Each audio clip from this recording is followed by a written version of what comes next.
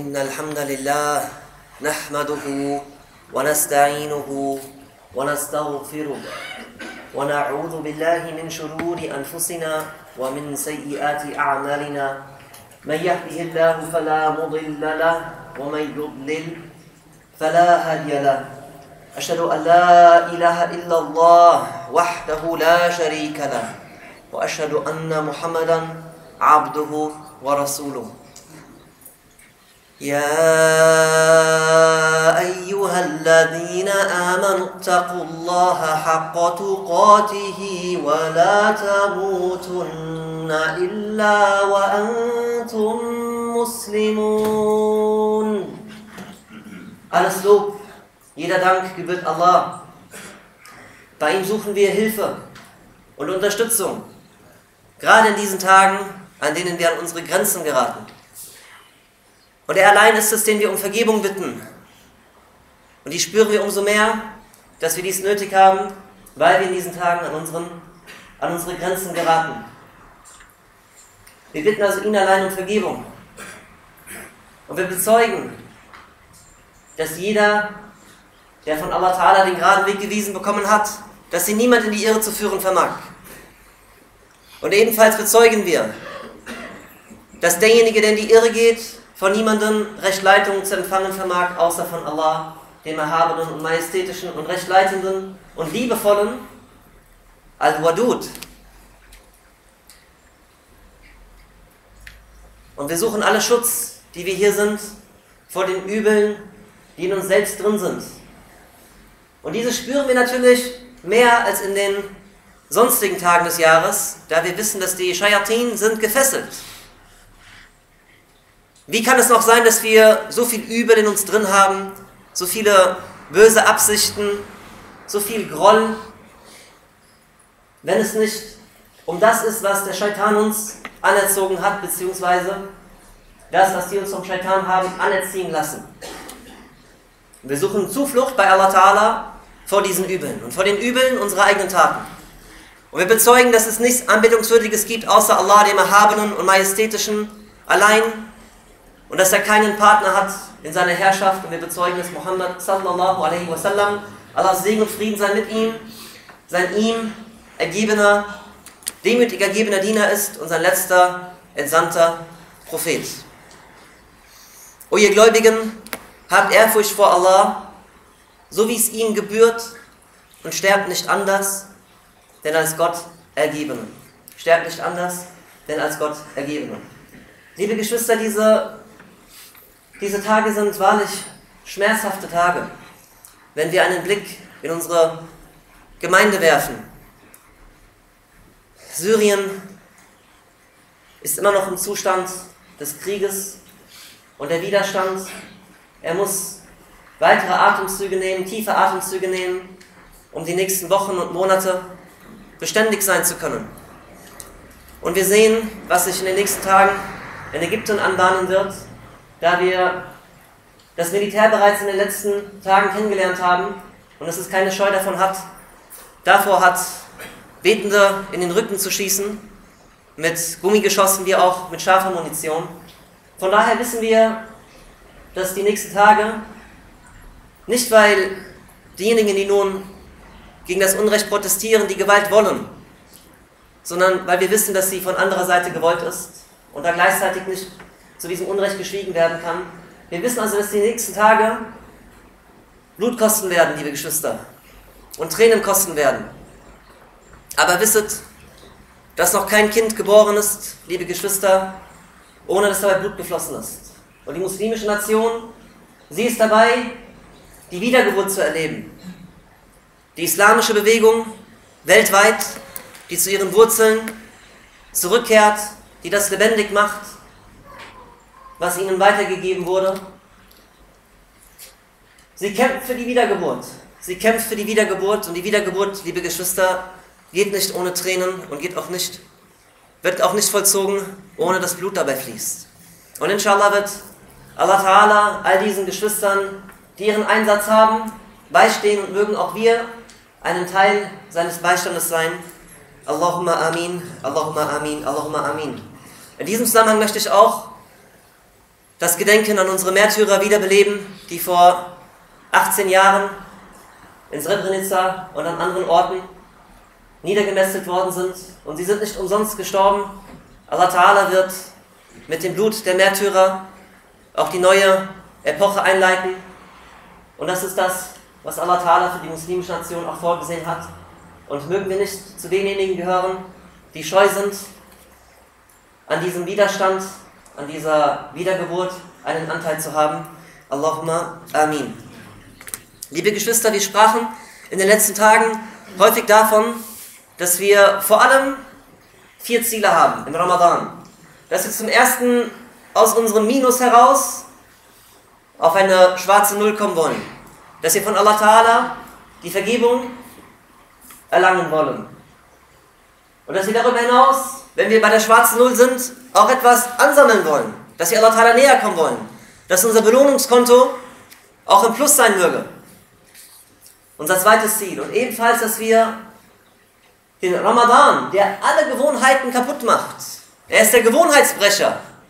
Der Schlafrhythmus wird umgestellt, der Energierhythmus wird umgestellt, der Essensrhythmus wird umgestellt, der ganze Tagesablauf wird positiv umgestellt und die Gebete fallen einem auch leichter aufgrund dieser weisen Umstellung von Allah des Essensrhythmus, des Essensrhythmuses, der uns erleichtert, das Morgengebet zu, zu, in der richtigen Zeit zu beten und ebenso uns erleichtert, das Abendgebet in der richtigen Zeit zu beten und uns auch erleichtert, in der Moschee und mit der Familie im, im schlechtesten von allen guten Fällen die Gebete in der Gemeinde, in der Gemeinschaft zu verrichten. Wir sprachen ebenfalls davon, dass jeder von uns diese Zeit zu nutzen, nutzen möge dafür, dass er seinem eigenen Leben einen Plan gibt. Und dass er darauf aufbauend Bittgebet an Allah Ta'ala richtet, dass er einem dabei hilft, nicht nur das nächste Jahr, sondern auch die nächsten Jahre dazu verwenden, dazu zu verwenden, diesen Plan mit Segen umzusetzen. Da wir alle Ziele haben, beziehungsweise alle Ziele haben sollten.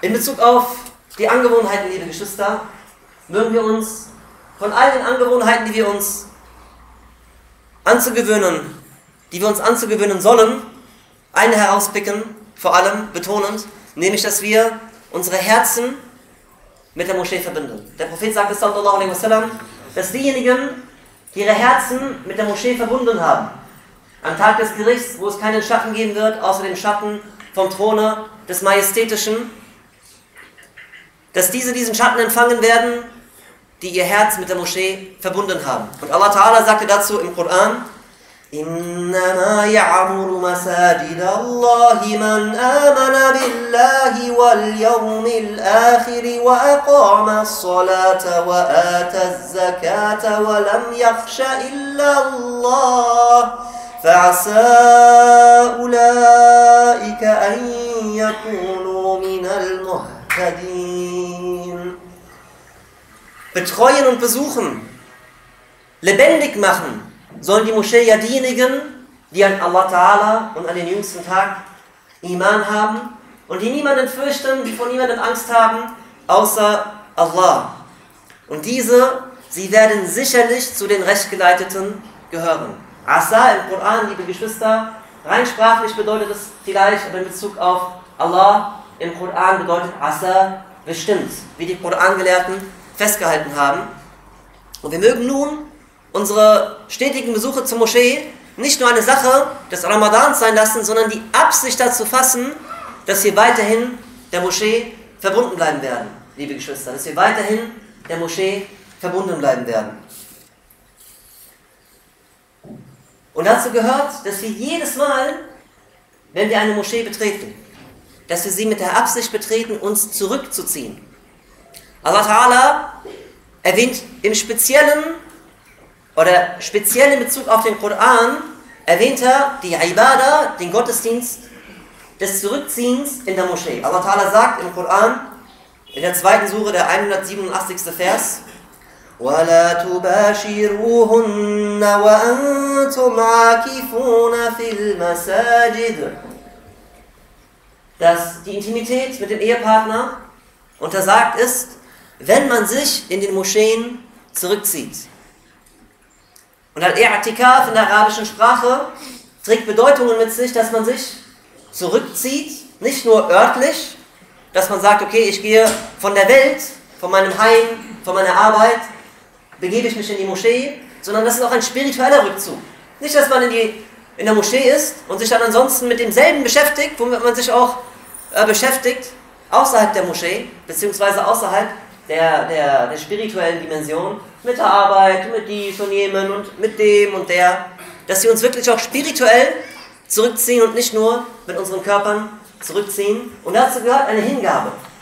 Der andere Kontext im Koran, wo das Wort I'tikaf Erwähnung findet, ist nämlich der Kontext der Hingabe. Allah Ta'ala sagt, sagt im Koran, إذ قال لأبيه وقومه ما هذه التماثيل التي أنتم لها عاكفون Als er, damit ist Ibrahim a.s. gemeint, zu seinem Vater sagte, was sind das für Bildwerke, denen ihr euch hingebt, denen ihr gegenüber Hingabe habt. Antum laha akifun. Das heißt, wenn wir uns in den Moscheen zurückziehen, und das kann auch nur für einen Moment sein, man betritt die Moschee und sagt, oh Allah, ich ziehe mich jetzt für diese und diese Zeitspanne zurück. Das heißt, man, man begibt sich in, in, in eine private Unterhaltung. Man versucht sich in, in Gegenwart von Allah Ta'ala zu begeben, durch seine Bittgebete, durch das Lesen vom Wort Allah Ta'alas, durch das Gebet, durch das über sich selbst Nachdenken, über das kritische Nachdenken, dadurch, dass man um Sündenvergebung bittet. Nicht, dass jetzt hier irgendwie die Atmosphäre eines, eines Cafés ja, äh, in die Moschee hineinholen. Das heißt, wir gewöhnen uns an, dass die Moschee Teil unseres Lebens wird. Und ebenso gewöhnen wir uns an, dass wenn wir uns in den Moscheen aufhalten, dass wir auch ein würdiges Verhalten an den Tag legen. Weiterhin, weiterhin, liebe Geschwister, wollen wir alle versuchen, eine Beziehung zum Koran aufzubauen. Dazu lasst uns folgende Verse aus dem Koran vernehmen. ويوم يعض الظالم على يديه يقول يا ليتني اتخذت مع الرسول سبيلا. يا ويلتي ليتني لم أتخذ فلانا خليلا. لقد أضلني عن الذكر بعد إذ جاءني وكان الشيطان للإنسان خذولا. وقال الرسول يا رب إن قوم اتخذوا هذا القرآن مهجورا Und am Tage, wo sich der Ungerechte in die Hände beißen wird, das kennen wir, diese menschliche Reaktion, diese, diese Wut, dieser Frust, und dann, ah, Allah Ta'ala gibt uns dieses Bild, dass am Tage des Gerichts der Ungerechte sich in die Hände beißen wird. Warum ist er so frustriert? Warum diese, diese Wut, dieser Zorn? Sinngemäß, er wird sagen, oh hätte ich doch den Weg mit den Gesandten eingeschlagen. Und hätte ich doch nicht den oder den zum Freund genommen. Denn er brachte mich weg vom rechten Weg, nachdem er zu mir gekommen war. Und der Scheitan, er pflegt den Menschen stets im Stich zu lassen. Natürlich, wir kennen diese Betreuung vom Scheitan. Ja, dieses Gefühl, abgelenkt zu sein, gut drauf zu sein, Probleme vergessen zu haben. Aber darauf folgt garantiert das Im Stich lassen vom Scheitan. Das heißt hier, und das können wir auch mit der Moschee verbinden, wir, wir, wir freuen uns an mit den Leuten des Gebets. Wir freuen uns an mit den Leuten der Moschee. Das ist vielleicht die wichtigste Angewohnheit, da der Prophet sagte, sallallahu alaihi wasallam, dass eine Person so religiös ist wie sein bester Freund. So religiös ist wie sein bester Freund. So mögen wir darauf achten, wenn wir uns zum besten Freund nehmen oder zu einem nahen Anvertrauten. Und nun hört euch die folgenden Worte an. Das sind natürlich Ausschnitte aus dem Jenseits, für uns Ausschnitte aus der Zukunft. Allah Ta'ala gibt uns diese Ausschnitte, diese Realitäten aus der Zukunft in unsere heutige Zeit. Dass wir wissen, wie geht es den Guten und warum geht es ihnen gut und wie erging es den Schlechten oder wie wird es den Schlechten ergehen aus unserer Perspektive und warum ergeht es ihnen schlecht? Und nun hört euch die Anklage vom Propheten an, sallallahu alaihi wasallam. Und der Gesandte wird sagen am Tag des Gerichts, O mein Herr, mein Volk hat diesen Koran als etwas angenommen, was vernachlässigt wird, was vernachlässigbar ist, was vermieden wird. wovon man Abstand nimmt. Und die Gelehrten haben gesagt, mit dem Volke von Propheten Muhammad sallallahu alaihi wasallam kann ja immer zwei, zweierlei gemeint sein. Zum einen diejenigen, die den Ruf hörten. Das heißt, egal welche Religion man angehört, man gehört zum Volke des Propheten Muhammad sallallahu alaihi wasallam in dem Sinne, dass er der für uns gesandte Prophet ist. Und zum anderen das Volk, die Menschen, die diesem Ruf auch folgten, die ihm Antwort leisteten. Das sind die Muslime, die sagen, ja, ich nehme das an. Und natürlich das Volk der Leugner verlässt den Koran, weil es ihn nicht als Worte, als Wort von Allah Ta'ala anerkennt. Aber die Gelehrten haben festgehalten, das sind Ausführungen von Ibn al-Qayyim, dass selbst der Muslim den Koran vernachlässigen und verlassen kann, indem er ihn A nicht liest. Und wenn er ihn liest, ihn nicht studiert. Weil wir wissen, das Lesen und das Verstehen sind zweierlei. Dass wir nicht nur lesen, sondern auch versuchen zu verstehen, was wir lesen. Und zum Dritten, dass auch wenn wir lesen und auch wenn wir verstehen, dass wir nicht danach handeln. Und Ibn al-Qayyim, ihm, sei es, ihm sei es nachzusehen, dass er folgende Stufe nicht kannte aufgrund der Lage, äh, die er damals genoss, oder die die Muslime damals genossen, nämlich, dass wir noch nicht mal den Koran zu lesen vermögen. Dass wir noch nicht mal lernen, den Koran zu lesen. Das heißt, wir sollten uns alle vornehmen, den Koran lesen zu lernen. Und wir haben hier vier Ganztagsseminare angeboten. Besucht unsere Homepage iisev.de. Dort ist alles auf der Startseite äh, aufgeführt an Angeboten, die wir in den nächsten Tagen und Wochen auch ähm, angehen werden, den Koran zu lesen und sei es in der ungefähren Bedeutung. Und vor allem in der ungefähren Bedeutung. Dass wir auch eine innige Beziehung haben, nicht nur eine oberflächliche Beziehung haben. Denn bei Allah Ta'ala geht es um Qualität, liebe Geschwister, nicht um Quantität. Und dass wir das versuchen zu praktizieren, was wir verstehen. Und die weitere Stufe, dass wir den Koran dadurch nicht vernachlässigen sollen, dass wir ihn zwar lesen und verstehen und danach handeln, aber nicht seine Botschaft an andere weitergeben und dazu einladen. Und dass wir inshallah motiviert sind, der Einladung Allah Ta'ala zu folgen und dass wir die Kraft haben, uns von dieser Anklage des Propheten Muhammad sallallahu alaihi wasallam fernzuhalten, folgende Aussprüche vom Propheten Muhammad sallallahu. Jedes Mal, wenn sich eine Gruppe von Muslimen in den Häusern Allah Ta'ala zurückzieht, um den Koran zu studieren, versammeln sich ebenfalls die Engel um sie herum und sie breiten ihre Flügel um sie herum aus und Allah Ta'ala sendet Seelenruhe auf diese Menschen. Seelenfrieden auf diese Menschen. Und Allah Ta'ala, er lässt nicht die Engel diese Menschen bei ihm erwähnen, sondern er erwähnt die Diener, die dies tun, gegenüber den Engeln. Stellt euch vor, Allah nennt uns beim Namen in der Versammlung der, edelwürdig, der, der edlen Engel, der würdigen Engel, liebe Geschwister. Welche größere Gnade gibt es als dies? Und wir wissen, dass umso mehr wir uns mit dem Koran beschäftigen und ihn verlesen, umso mehr wird am Tag des Gerichts auch davon unsere Stufe abhängen. Das heißt, lese den Koran wie du ihn damals auch in deinem Leben gelesen hast. Und dann steigt man dadurch auf. Und wenn man stoppt, weil man auch im Leben nur eine, ein bestimmtes Maß hinter sich hat, dann wird dies dann die Stufe im Paradies sein. Und viele weitere Aussprüche, liebe Geschwister, ähm, die es zum Thema Vorzüge des Korans gibt. Das ist ein Buch, was ich jedem empfehle, von Imam Nawawi, vor vielen Jahrhunderten geschrieben, wo es um den richtigen Umgang mit dem Koran geht. Weiterhin ein Buch, die Wissenschaften des Korans. Weiterhin ein Buch, der Ursprung des Korans und viele weitere Dinge, die wir bei uns im Buchladen haben, Hörbücher, wie auch Bücher äh, zu diesem Thema, dass wir dem Koran in diesen Tagen, in diesen gesegneten Tagen, auch wirklich näher kommen.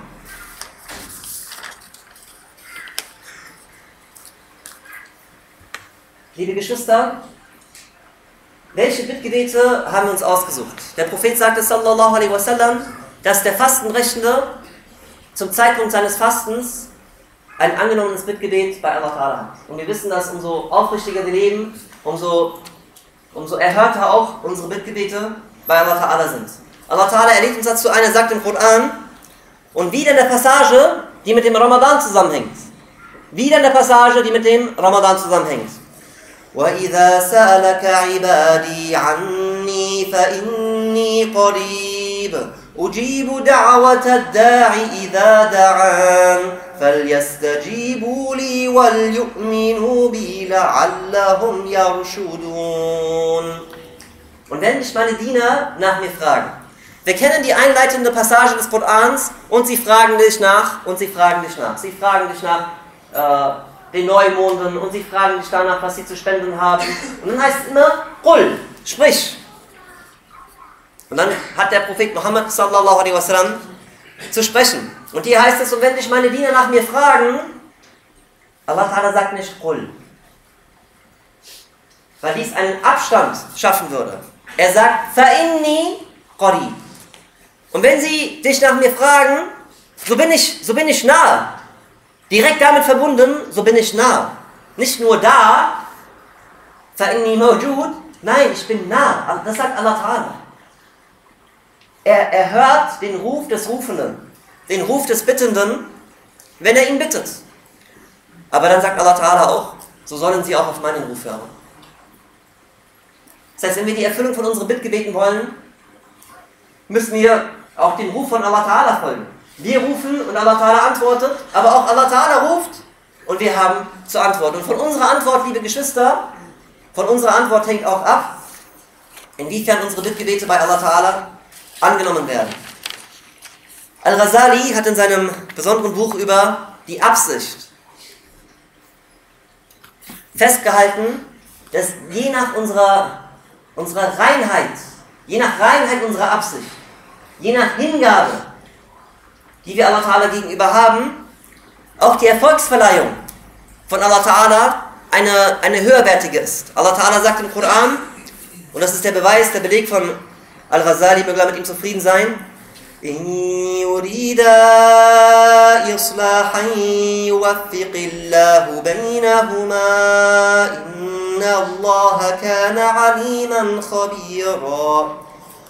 In Bezug auf die, die Eheleute, die, die eine Krise haben, sagt Allah Ta'ala, und wenn sie beide die Versöhnung wollen, dann wird Allah Ta'ala sie auch zum Erfolg führen. Dann wird Allah Ta'ala wieder Harmonie zwischen beiden bringen und sie miteinander wieder versöhnen. Das heißt, unser Wille ist von Allah Ta'ala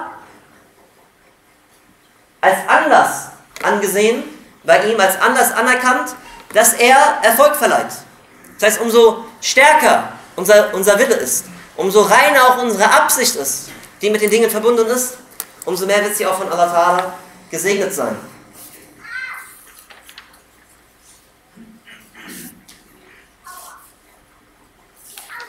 Liebe Geschwister, wir haben im Ramadan eigentlich keine Wahl, wenn wir klug sind. Wenn wir zu fasten haben, wirklich zu fasten haben, wenn wir nicht zu denen gehören, die wie gesagt auf Reisen sind oder die äh, als Stillende oder als Schwangere um die eigene Gesundheit fürchten oder um die Gesundheit des Kindes bzw. des Fötus, des Embryos fürchten. Oder aber wenn wir nicht eine, eine Mühsal ertragen müssen, die uns überfordert. Dazu haben wir, wie gesagt, sieben Seiten auf unsere Homepage gestellt, ebenfalls durch die Startseite äh, aufrufbar. Wer überfordert ist, er muss nicht fasten. Wer überfordert ist, er muss nicht fasten. Und übrigens, wenn wir etwas für uns vernehmen, wo wir sagen, Alhamdulillah, warum gehen wir das nicht weiter? Ich habe Geschwister kennengelernt, die wirklich sehr, sehr hart körperlich arbeiten. Gestern habe ich einen von ihnen gefragt und gesagt, sag mal, wie schaffst du das? Wie machst du das? Und er sagte, ja, muss. Muss. Und man merkt ihm irgendwie eine, irgendwas war in seinem Herzen gewesen. Und er sagte, ja, muss, aber ich faste nicht. Und dann, Bruder, du brauchst kein schlechtes Gewissen zu haben. Du brauchst kein schlechtes Gewissen zu haben. Wenn du das nicht vermagst, dann hol das nach. Und schau dir die Belege dafür an, damit du auch eine Überzeugung im Herzen dem gegenüber hast. Aber das musst du auch anderen Leuten weiterleiten, bloß weil wir vielleicht nicht so hart arbeiten ist es trotzdem für uns wichtig, dass wir das anderen Menschen weitergeben, weil die haben vielleicht ein schlechtes Gewissen. Sie kommen deswegen vielleicht nicht in die Moschee, weil sie sagen, ja, ich bin irgendwie kein richtiger Muslim oder ich, ich heuchle oder dies oder jenes. Das müssen wir auch verbreiten, liebe Geschwister. Wir haben also keine Wahl, darauf möchte ich zurück. Entweder wir fasten widerwillig, ohne Liebe, oder wir fasten mit einer Hingabe und mit einer Liebe. Und Allah Ta'ala Er unterscheidet im Koran zwischen Dienern und Sklaven. In Bezug auf die Sklaven sagt er, dass sie Abid sind. Und Allah Ta'ala hat im Koran verkündet, وَمَا رَبُّكَ بِظَلَّامٍ لِلْعَبِيدِ Und Allah Ta'ala, er ist nicht ungerecht gegenüber den, den, den Versklavten. Ja, Im Sinne von diejenigen, die Allah Ta'ala, äh, die, die ihm gegenüber widerwillig waren. Aber niemand, liebe Geschwister, niemand kann anders sein gegenüber Allah Ta'ala als entweder ein Sklave oder ein Diener. Weil den, den Rahmen, den Allah Ta'ala den Geschöpfen gegeben hat, um zu rebellieren, das ist der Rahmen von Allah Ta'ala. Aber niemand kann in irgendeiner Form rebellieren gegenüber Allah Ta'ala, was er nicht bereits so bestimmt hat und zugelassen hat. Von daher gibt es keinen, keinen wahren Rebell gegenüber Allah Ta'ala. Weil niemand kann die Grenzen überschreiten, die Allah Ta'ala gelegt hat. Beispielsweise kann niemand den Koran ändern. Der Koran ist der Koran, das ist eine Grenze. Aber wir, liebe Geschwister, wir haben die Wahl, fasten wir aufgrund dessen, dass wir ja, widerwillig sind, als, als Sklaven, die keine andere Möglichkeit haben, oder fasten wir aufgrund einer Hingabe? Lass uns Allah an dieser Stelle um Vergebung bitten, er ist der Einzige, der uns zu vergeben vermag. Allahumma amin.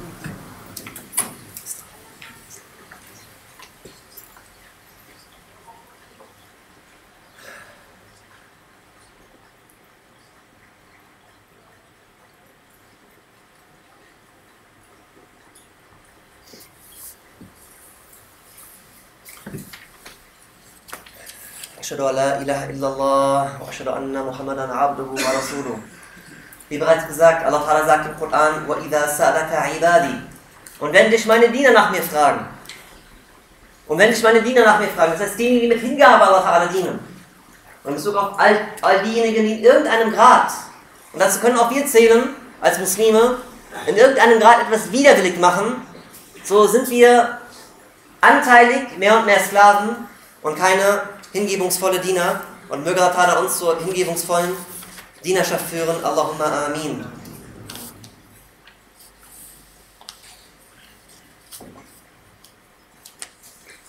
Liebe Geschwister, wir wollen uns mit den tieferen Dimensionen des Fastens beschäftigen.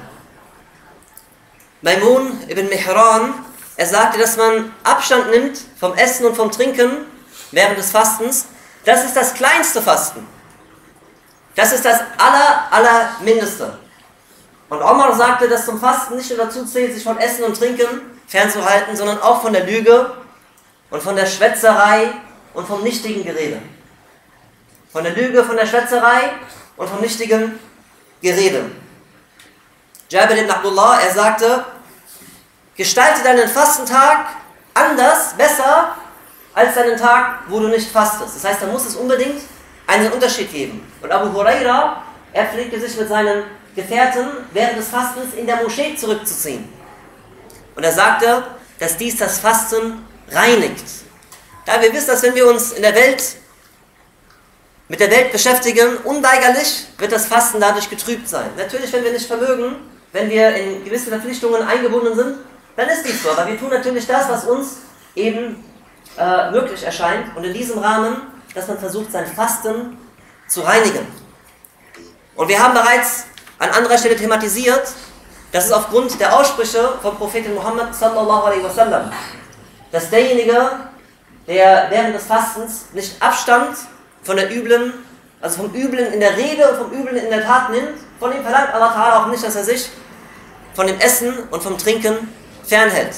Und weiterhin, dass es so manchen Fastenden gibt, sagte der Prophet Muhammad sallallahu alaihi wasallam, der nichts vom Fasten hat, außer Hunger und Durst. Und so manchen Betenden, Betenden in der Nacht gibt, der nichts von seinem Gebet hat, außer Schlaflosigkeit.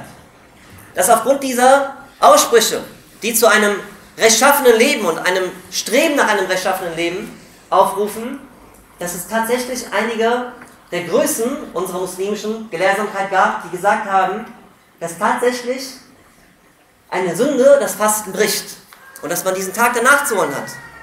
Ibrahim al-Nakhai, er beispielsweise, er sagte, und er gehörte zu den ersten Generationen, er sagte, dass derjenige, der gelogen hat, der muss den Tag nachholen. Derjenige, der gelogen hat, der muss den Tag nachholen wie derjenige, ja, der, also der aus einem anderen Grund die Heiligkeit des Ramadans äh, gebrochen hat. Und dies ist auch die Rechtsschule von Imam al-Awzari. Und Ibn Hazm, derjenige, der sich immer mit, mit der, also mit dem, nur mit dem Text beschäftigte und weniger mit Zusammenhängen, er sagte, er unterstützte diese Ansicht, dass tatsächlich die Sünden das Fasten brechen, liebe Geschwister. Was uns dazu führt, unser Fasten der letzten Tage wirklich mal einer harten Prüfung zu unterziehen. Haben wir wirklich, wirklich, wirklich gefastet? Und natürlich, wir, wir wollen nicht in Extreme verfallen. Imam Ahmed, möge Allah ihm barmherzig sein und wir, wir schulden ihm Dank. Er sagte, wenn es tatsächlich so wäre, sinngemäß, dass die Sünden das Fasten brechen, sagte er, dann hätte keiner von uns einen Fastentag. Alhamdulillah, dass Imam Ahmed das gesagt hat, stimmt's? Alhamdulillah. Aber wir führen dies auf, liebe Geschwister, die andere Auffassung, um einfach die Wichtigkeit nochmal in unserem Herzen anzuheben vom rechtschaffenen Leben. Wir müssen uns anschauen, wie haben wir uns in den letzten Tagen verhalten. Gerade am Anfang vom Ramadan. Derjenige, der, der die ganzen Internetdiskussionen und Facebook und WhatsApp und was weiß ich noch alles ja, äh, verfolgte, wird sehen, dass, dass wir den, den ersten Tag des Ramadans, ja, äh, und sei es der zweite, oder den zweiten Tag des Ramadans und sei es der erste, unabhängig davon, welcher Meinung man angehört, den haben wir bereits schon gebrochen, liebe Geschwister. Viele von uns. Indem sie üble Nachrede nicht nur gegenüber irgendwelchen Muslimen äh, verbreitet haben, nach dem Motto, ja, die begehen Haram und die sündigen und die folgen nicht der Sunna, die folgen nicht dem Koran, die folgen nicht dem Islam, die folgen ihren Neigungen, etc., etc., etc., sondern darüber hinaus auch noch, dass man mit seiner Zunge sich gegenüber den Gelehrten verging. Und aus diesem Buch können wir folgende Worte vernehmen. Und der Imam Abul Qasim ibn Asakir, Allah erbarme sich seiner, sagte, Wisse, mein Bruder, möge Allah dir und uns erfolgreich sein Wohlgefallen erlangen und uns zu denjenigen gehören lassen, die ihn fürchten und sich vor ihm gebührend in Acht nehmen, dass das Fleisch der Gelehrten nicht nur verboten ist, dass man es isst durch die üble Nachrede, dass es vergiftet ist. Das ist nochmal eine höhere Stufe. Und dass Allahs Gewohnheit bei der Aufdeckung derjenigen bekannt ist, die sie herabsetzen und dass, und dass denjenigen und dass denjenigen, der seine Zunge gegen die Gelehrten loslässt, um sie zu verleumden, Allah der Habene, vor dessen Tod mit dem Absterben seines Herzens heimsucht. Mit dem Absterben seines Herzens heimsucht. Und er zitierte den Vers sinngemäß, so sollen diejenigen, die seinen Befehl zuwiderhandeln, sich vorsehen, dass nicht eine Versuchung oder schmerzliche Strafe sie trifft. Unabhängig jetzt von, dieser, an diesem, von diesem Beispiel, haben wir wirklich gefastet und wollen wir die nächsten Tage wirklich fasten? Wollen wir das nur als Sklaven irgendwie abarbeiten, wie der widerwillige Schüler oder wie der widerwillige Arbeiter, der nur gerade so viel tut, um es nicht nochmal machen zu müssen? Das kennen wir alle. Gerade so viel machen, bis man es nicht nochmal machen muss.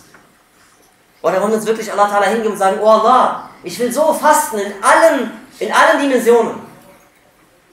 Mit den tiefsten, mit, mit, mit den tiefsten Tiefen möchte ich fasten. Aus dem Inneren meines Herzens möchte ich fasten. Ich möchte fasten mit meinen Augen, fasten mit meinen Ohren, fasten mit meinen Händen, fasten mit meinen gesamten Körpergliedern, fasten mit meinem Herzen, fasten mit meinen Gedanken, auf dass ich dir näher komme.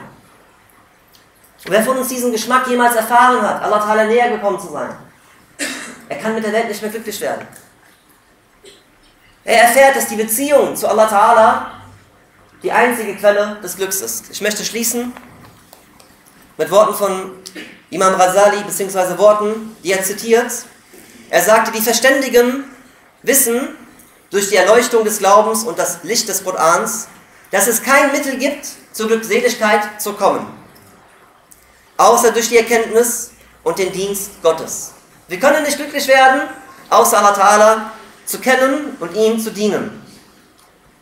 Demnach sind die Menschen alle verloren, außer den Erkennenden. Alle Menschen, liebe Geschwister, sind verloren, außer diejenigen, die erkennen. Und die Erkennenden sind alle verloren, außer den Handelnden. Nicht nur, dass wir wissen, sondern dass wir auch nach unserem Wissen handeln. Und die Handelnden sind alle verloren, außer diejenigen mit der reinen Absicht. Und er schließt damit, und die mit reiner Absicht sind in großer Gefahr.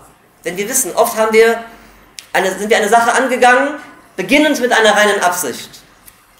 Und später schlich sich etwas ein in unsere Absicht, weil wir sie nicht richtig schützten. Sei es Stolz, sei es Hochmut, sei es, dass man den Lohn der Menschen äh, verlangte und nicht den Lohn von Allah Ta'ala oder dass dies das Ausschlaggebende war.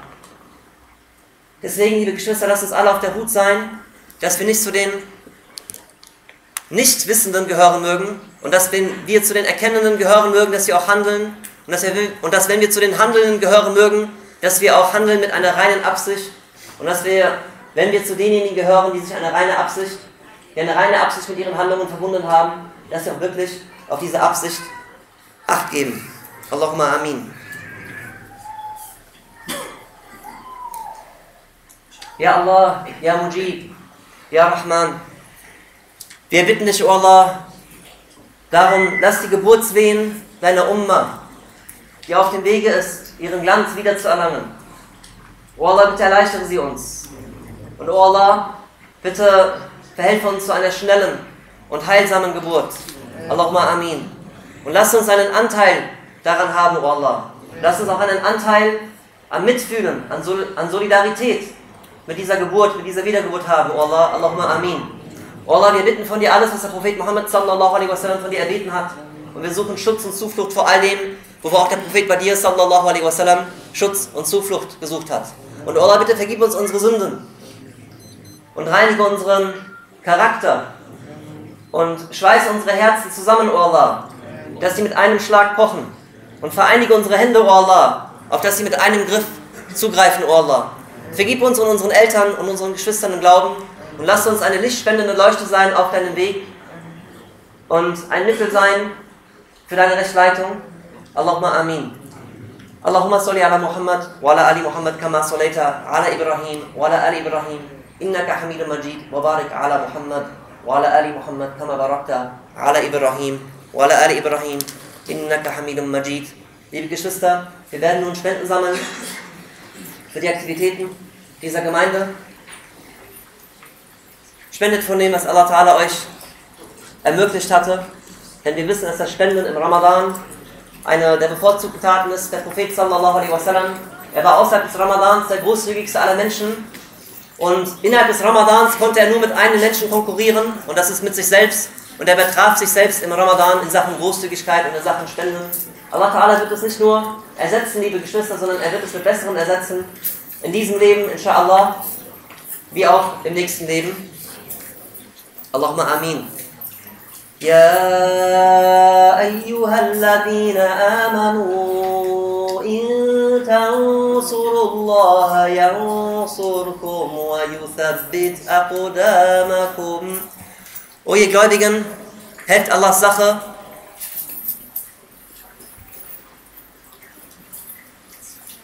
Helft Allahs, ja, Wenn ihr Allahs Sache helft, dann wird er euch helfen und er wird euren Füßen festen Halt verleihen. O ihr Gläubigen, wenn ihr Allahs Sache helft, so wird er euch helfen und er wird euren Füßen festen Halt verleihen. Jazakumullahu khairan. Wenn wir uns nun zum Gebet begeben, lasst uns wissen, dass das Gebet ein vertrauliches Gespräch mit Allah Ta'ala ist. Ein Bewerbungsgespräch mit Allah Ta'ala, auf das er unsere Stufen erhöhen möge, auf das er uns vergeben möge, auf das er unsere Bittgebete annehmen möge. Und Allah Ta'ala, er wendet sich von uns ab, wenn wir uns im Gebet auch von ihm abwenden. Wir versuchen also unsere Konzentration zu halten und falls der Shaitan etwas von ihr nimmt, dass wir sie sofort wieder erlangen und uns bemühen und dass unsere Bittgebete mit Aufmerksamkeit, mit einem flehenden Herzen, gerade in den Niederwerfungen Allah Ta'ala richten. Das Salah.